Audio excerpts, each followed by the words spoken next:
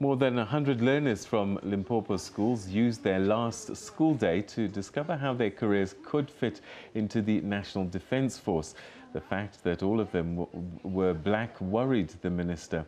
She says that there's a need for white youth to also join the defence to increase diversity in the field. Mapisa Nqakula urged local defence forces to intensify recruitment of rural youth to fill shortages the field is experiencing of trained scientific personnel. Learners bid the cold and windy weather for an opportunity to make informed career decisions. This South Africa which we fought for is for black and whites. Our defence force is non-racial, non-sexist.